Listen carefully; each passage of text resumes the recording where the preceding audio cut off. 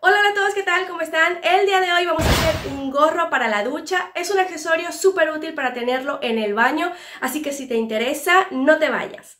Pero antes de empezar, no olvides suscribirte al canal, activa la campanita para que YouTube pueda avisarte cada vez que haya un nuevo video. Ahora sí, empezamos. Bueno, el gorro lo vamos a hacer de 46 centímetros de diámetro. Para ello vamos a empezar sacando un patrón.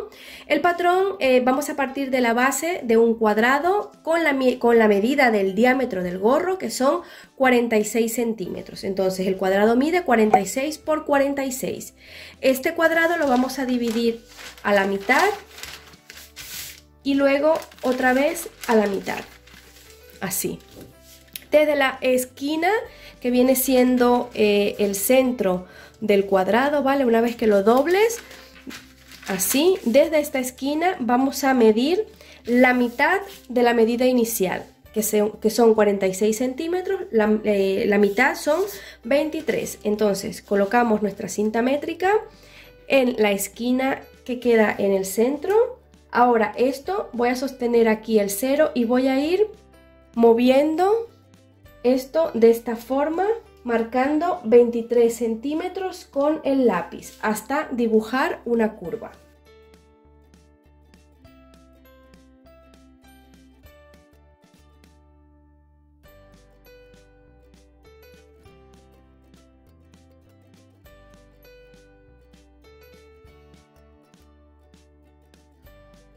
Todos estos puntos que he marcado los voy a unir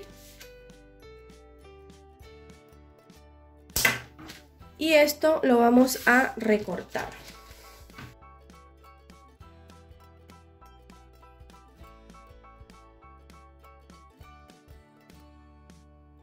Abrimos y nos queda un círculo perfecto. Ahora, utilizando esto como patrón, vamos a cortar la tela.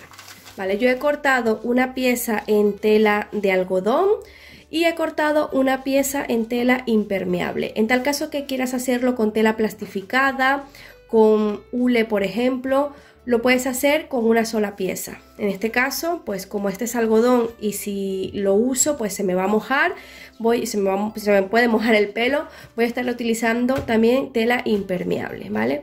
No utilizo solo esta porque es azul entera y no sé, quería darle un poquito de color.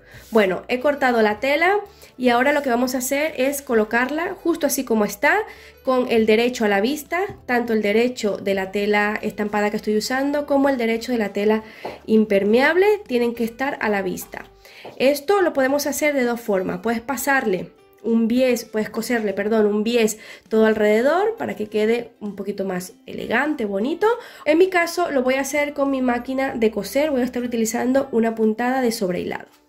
Yo voy a utilizar el prensatela G de mi máquina, que es el que se utiliza para hacer sobrehilados. Lo voy a poner por aquí y voy a seleccionar la puntada 11 de mi máquina.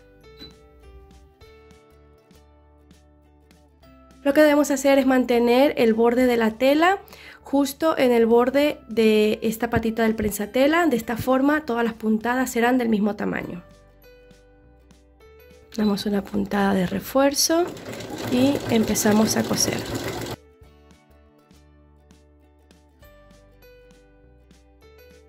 No he hecho ningún otro ajuste de largo o ancho de, puntada, lo he utilizado tal cual como lo pone la máquina en automático.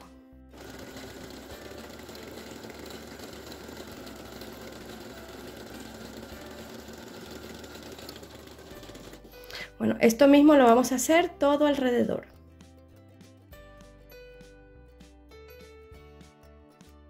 Ahora vamos a colocar la cinta elástica. La medida de la cinta la tomamos midiéndonos el contorno de la cabeza. Vamos a pasar la cinta o la elástica misma o la cinta métrica eh, por debajo de la nuca, alrededor de la cabeza hasta la frente. Y esa medida va a ser la medida de la elástica menos 2 centímetros para que nos quede ajustadita a la cabeza. Entonces la cinta la vamos a unir de esta manera y le vamos a pasar por aquí una costurita con la máquina para unirla, ¿vale? Para hacerla de esta forma.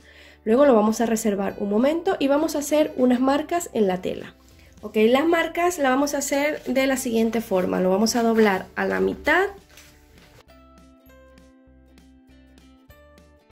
Y vamos a marcar en los dos extremos, aquí y de este lado.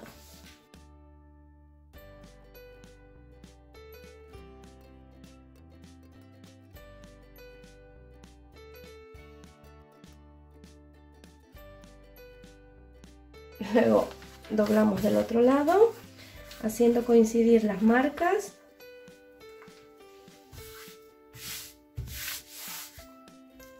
Y marcamos por aquí.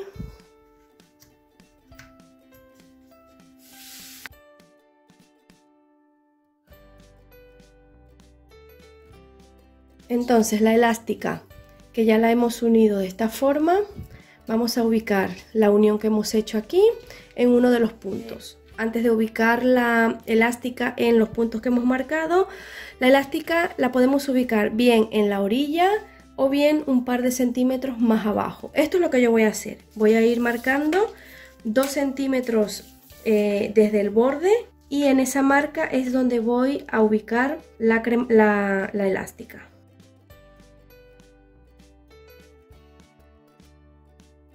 Bueno, una vez que he marcado 2 centímetros hacia abajo y he unido todas las marquitas, esto para ayudarme, vamos a ubicar la elástica. Vamos a poner el punto de unión, el primer punto de unión, en uno de los puntos que hemos marcado. Una vez que tengamos los cuatro puntos de la elástica ubicados en los puntos de la tela, vamos a la máquina y vamos a coser la elástica con zigzag. Vamos a ir estirando, ¿vale? De un punto a otro estiramos y vamos cosiendo con puntada de zigzag todo alrededor. Siempre estirando de un punto a otro, ¿vale? Cuando lleguemos aquí, estiramos de aquí a aquí y luego estiramos de aquí a aquí.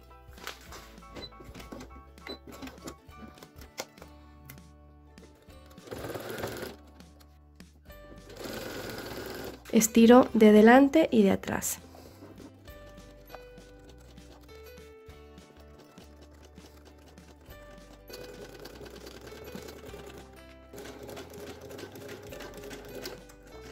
Y aquí ya tenemos el gorrito terminado.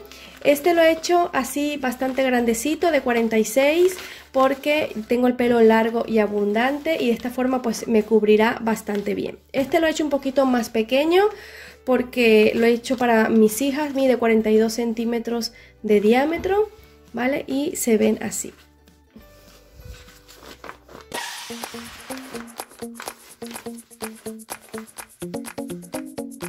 Bueno, espero que este video te haya gustado. Si es así, no dudes en regalarme un me gusta, en compartirlo y en dejarme algún comentario aquí abajo en el apartado para comentarios. Si te animas a hacer alguno de mis tutoriales, envíame una fotito, yo las estaré compartiendo por todas mis redes sociales. Y si aún no lo has hecho, suscríbete al canal, recuerda activar la campanita para que te notifiquen cada vez que yo suba un nuevo video. Yo por lo pronto te espero aquí la próxima semana con un nuevo video tutorial. Hasta entonces.